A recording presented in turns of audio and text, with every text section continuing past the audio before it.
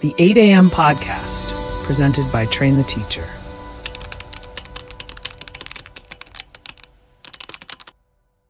Hey everyone, you know how some tech topics feel just impossible to wrap your head around? Well, a lot of the time, the big idea behind them is actually super simple. And today, that's what we're going to do with blockchain. We're going to break it all down using something we can all get, a magic shared notebook. Ready? Let's jump right in. Okay, so let's start with a really basic problem. Picture this. You and a bunch of your friends are trading stuff. Maybe it's cool toys, collectible cards, whatever. It's all fun and games, right? But how do you keep things fair? How do you really know who owns what after a bunch of trades? What stops someone from just saying, hey, I never gave you that, that's still mine?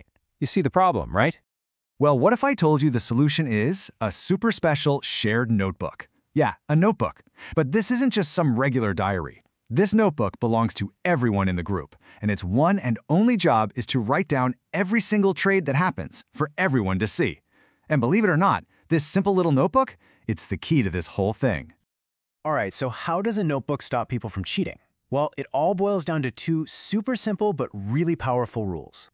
These two rules make sure everything stays fair. Let's get into them. Okay, rule number one. This is the first bit of magic. It's not just one notebook. Nope. Everyone in the group gets their very own identical copy. Now think about that for a second. What does that mean? It means if you try to cheat, say you secretly scribble something out in your copy, well, it's not going to work. Why? Because everyone else's notebook still has the real story. They'd all look at yours and go, wait a minute, that's not right. You'd be caught instantly. It's honesty through transparency. And then there's rule number two, which is just as important. Once the page in the notebook is full of trades and everyone agrees it's all correct, that page gets locked, like superglued shut. You can't erase anything, you can't change a single word, you can't even tear the page out. Once it's in there, it's in there forever. It's a permanent record. So let's walk through this step by step. Let's say you trade a toy with your friend. First, you make the trade, then you both shout out, hey everyone, we just made this trade, and you write it down. Instantly, that new trade gets copied into every single person's notebook, so all the copies match. And once that page is full, bam, it's locked for good. It's now a permanent part of your group's history. See? Pretty straightforward. Okay, so let's recap. We've got this awesome notebook, right? It uses these two simple rules to create a perfect, tamper-proof record that everyone can trust. It's a great system for trading toys, but what on earth does this have to do with computers and tech? Well, hang on because here comes the big reveal. I know what you're thinking. A notebook for kids trading toys? What does that have to do with anything? How do you take this simple little idea and apply it to, you know, the massive, complicated world of computers and the internet?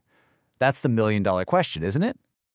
Well, here it is. That magic notebook we've been talking about this whole time, that's a blockchain.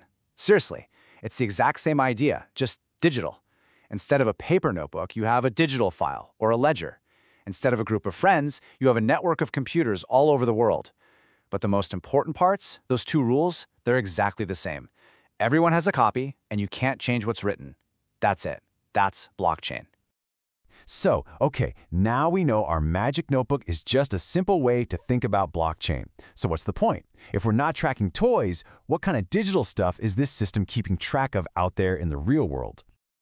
Well, it's used for all kinds of digital things. The biggest one you probably heard of is online money, you know, cryptocurrencies. The blockchain is basically the giant shared bank book for it. No single bank owns it, but everyone can see it and trust it. And it's also used for other things, like cool digital trading cards or art.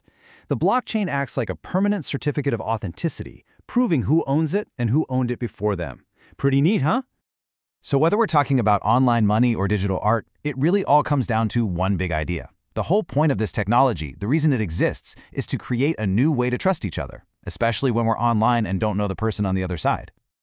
And this is what makes it so different. Think about it. The old way, the traditional way, we always need a middleman, right?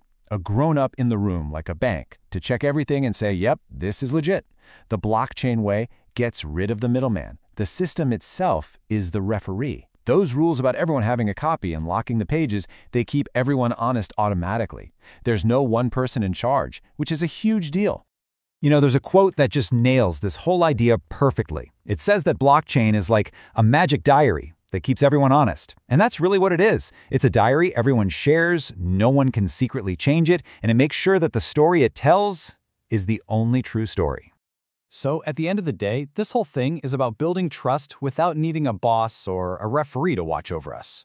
And that leaves us with a really cool question to chew on. Just imagine for a second, what could you create? What could we all build if we never had to worry and ask, can I trust this? Think about that. The possibilities are kind of mind-blowing.